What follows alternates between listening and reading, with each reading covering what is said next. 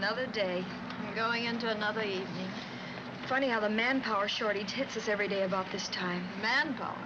I'd settle for one without any power. You know, we're getting into a rut. All-girl rut. Grace, let's celebrate. Celebrate what? Well, it must be somebody's birthday. Just think. A nice, juicy steak, and then the best show in town. And afterwards, we could go somewhere and listen to some music. Just like old times. Almost. It's a great idea. We'll shoot the works. I can see spots in front of my eyes, shaped like T-bones. We'll pinch the butcher to see if they're real. There you are. Thank you. 27 points, please. Oh, oh, but you see, we had to rush right over here to get here before six, and Oh, we didn't have time to go home for our ration books. besides, we don't have enough points left this week for that steak. We'll give you the difference next week. Mm-hmm. Well, it's 27 points, please. Here's the money, a dollar thirty-five. Oh, we'll pay more. We'll give you two dollars for the steak. How about that? Two and a half, and we'll still have enough left for the rest of the evening. Lady, look. The ceiling price is 45 cents a pound, and that's all I can charge. But I've got to have 27 points. Can't you forget the red tape just this once? We don't need red tape. We need red meat. Lady, as a butcher, I don't want to insult a customer. But as a citizen, I'm getting a little fed up. 27 points!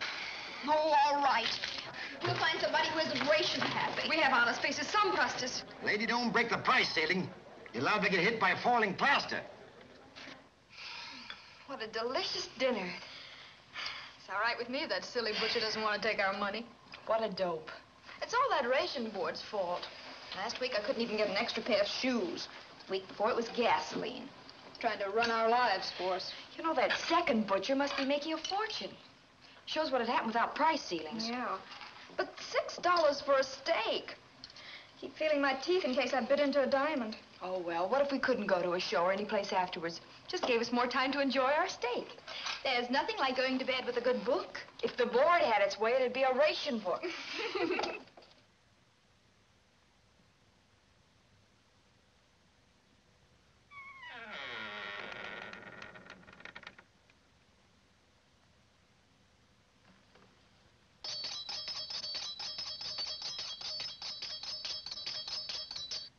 What are you doing here?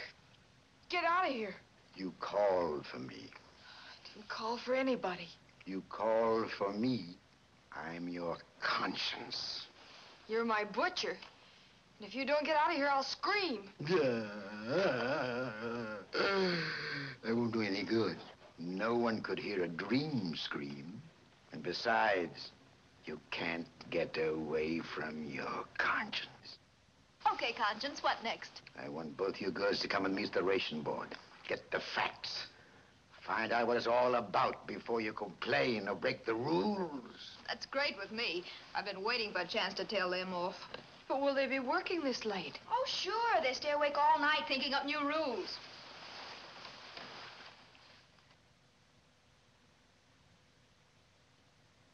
Come on, come on, girls. You're awfully slow.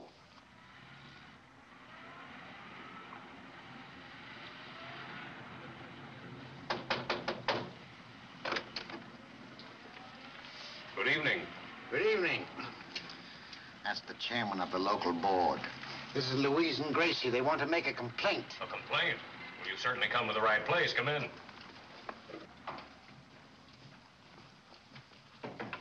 What'd that tell you? He's got horns. Yeah, that's how people seem when they don't worry about learning the facts. Uh, would you mind explaining the reason of rationing to these girls? You see, large amounts of foods like meat, butter, canned fruits, and vegetables are going to war. Now, in order to see that everyone gets a chance to buy his or her fair share, we ration them. Share and share alike. And then to keep down the cost to a reasonable level and eliminate profiteering, we put ceiling prices on these foods. Without these ceiling prices, the scarce goods would simply go to those with the most money. A fair share at a fair price. That's the purpose of rationing and price ceiling. Oh, I don't care anything about that. I came here to protest. All right, Gracie. Just before you start pounding the table, I'd like you to know that he is a volunteer worker. Outside of a few paid clerks, all the local boards are comprised of patriotic citizens who often work far into the night for you. You mean to say he isn't in the business? He doesn't get paid? No, of course not. I'm a lawyer and pretty busy these days on my own, too. You mean you work that hard for free? Certainly. Um, you can take those off now. Thank you. There are about 5,200 boards like this all around the United States. Every community has its individual problems. Representative men make up the local boards. It gives us a feeling we're contributing to the war effort, ensuring the flow of goods to the soldiers and to the home front. But they aren't being delivered to us. Why not call the whole thing off? It'd save us a lot of trouble and you a lot of time. That'll be all right for me. Worrying about points and changing ceiling prices driving me daffy. Sure, it's a lot of bother and a lot of extra work. Nobody likes it, nobody wants it. But it's the lesser of two evils. But if you really want to call this whole thing off, well, we're only doing it to protect you. So it's all right with me. Oh, boy! Come on, Louise, let's go to the store and stock up before everything is gone.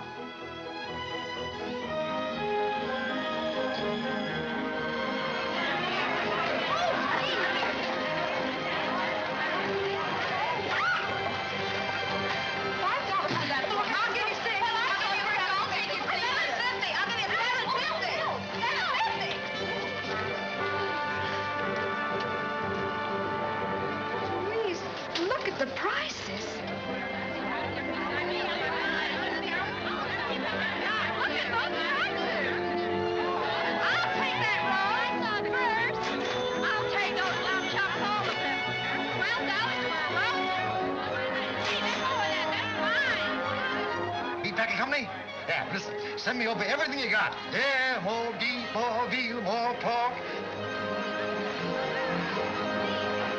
Ten dollars a pound for beef wholesale?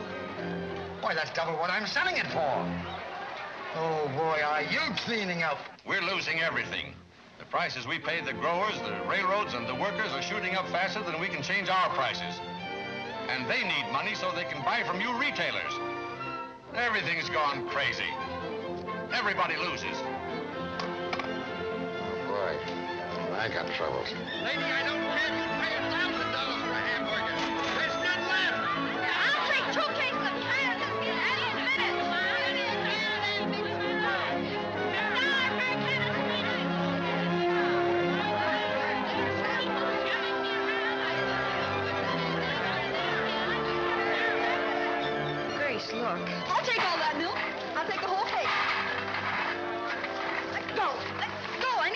need all this milk. I have a six-month-old baby. But I've got a baby, too. You can't take all of it. I paid for it. The last case. You won't get away with all this. We're entitled to our share. Wait a minute. Your share? None of you wanted rationing. I wanted rationing and price ceiling. I live on the allotment my boy sends me. He's in the South Pacific. I guess everybody like me who lives on a fixed income is out of luck. With crackers a dollar a box. I'm afraid my allotment won't buy enough to eat. Louise, I'm ashamed. So am I. Maybe. Maybe if we go to the ration board and, ex- and, and apologize and. Listen, let's go over to the board and make them give us our ration points and price ceilings again. I thought there were going to be a lot of trouble. Anything is better than this. Come on.